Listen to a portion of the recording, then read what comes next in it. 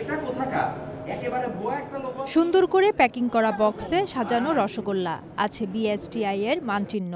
এতে নিরাপদ হিসাবে ভোক্তা যা কিনছেন তাতে হচ্ছেন প্রতারিত।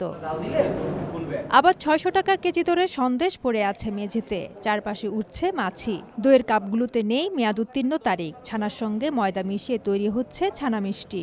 রকমারের ডিসকাউন্টের উপরে শুধুমাত্র নগদ দিয়ে পেমেন্ট করলেই পাবেন আরও একুশ পার্সেন্ট ক্যাশব্যাক বৃহস্পতিবার জেলা প্রশাসনের ভ্রাম্যমাণ আদালতে অভিযানে এমন অসংখ্য অনিয়ম পাওয়া যায় মিষ্টির ব্র্যান্ড, সিজলের, বায়জিৎ কারখানায়। ওনাদের আসেরলের লাইসেন্স নাই। ময়লা এবং অস্বাস্থ্যকর পরিবেশে ওনাদের বিরুদ্ধে খাদ্যদ্রব্য তৈরির একটা অভিযোগ ছিল, সেটি আমরা দেখেছি। এই সমস্ত অপরাধগুলো আমরা আমলে নিয়ে ওনাদেরকে আমরা দেড় লক্ষ টাকা জরিমানা করেছি। এক কারখানার বিএসটি এর রেজিস্ট্রেশন দিয়ে সম্পূর্ণ ব্যয়নিভাবে অন্য কারখানায় খাদ্য উৎপাদন করে আসছিল প্রতিষ্ঠানটি। প্রোডাক্টের গায়ে ঠিকানাটা ছিল পুরোপুরি আগ্রাবাদ যেখানে ওদের আগে লাইসেন্স আছে ওই লাইসেন্সের ঠিকানাটা ওনারা এখানকার বাইজির মধ্যে ইউজ করছিলেন। এটা একটা উন্নত অপরাধ ছিল।